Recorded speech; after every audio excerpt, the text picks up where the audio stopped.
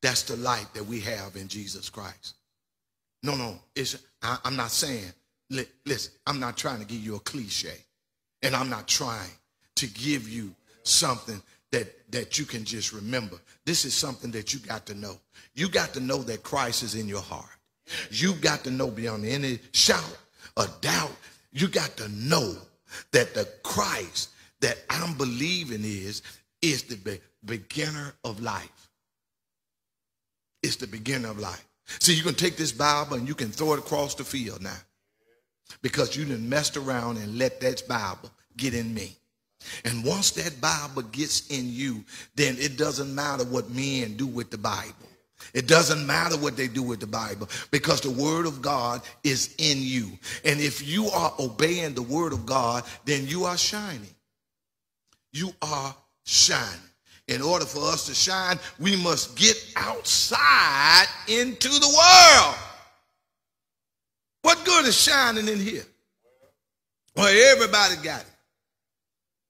But God has placed us in strategic places. Even if you are incarcerated, God is telling you to shine. Do you know God got, got men and women that are saved in jail? They are saved in jail.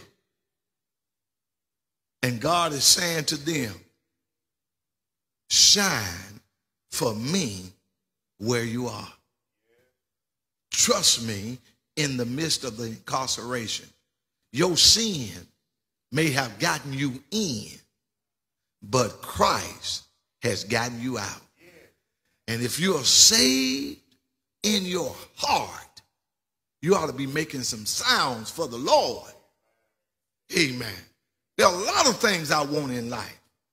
But the stuff that I want in life, I got to make sure that God is tied to it. Because if God is not tied to the things of the life in this life that I want, then I'm leaving God out. I want God in every corner of my life.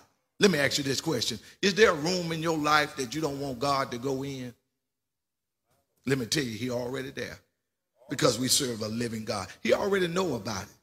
Is there a sacred secret that you are holding within yourself that you said that you would leave, you would die before you tell anybody? Well, let me tell you, honey, baby child, brother, let me tell you, he already know. He already know your story. Huh? He try, and I like it because he don't tell nobody. Not only do he, he, he might tell somebody that he might be able to help you. That's why I could be moved. The Lord said, I need you to speak this to this lady right here. I don't know this lady, but the Lord know what she's going through. So I need you to say this to me. I need you to say this to her. I need you to tell this brother right here that his life is not going to fare well until he put God in his well. There are things. So I live a life where I'm waiting to be used of God. And you better believe he's always talking to me. And since I got connected with him, all I want to do is shine. All I want to do is shine for Jesus. In order for us to shine, we must get outside. We must touch bases with people. Amen. Other than people that we know white, black. That's why it's not just good to be a black Christian. You ought to meet some white Christians.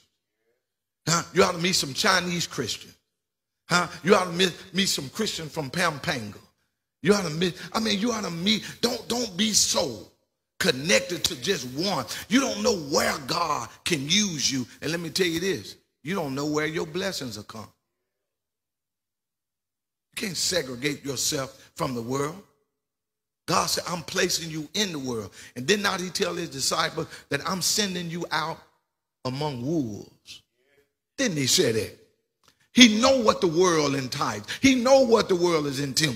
He knows all of this. God got people working everywhere. All he wants us to do is shine. In this pandemic, can you shine? Can you shine? Can you give God the glory?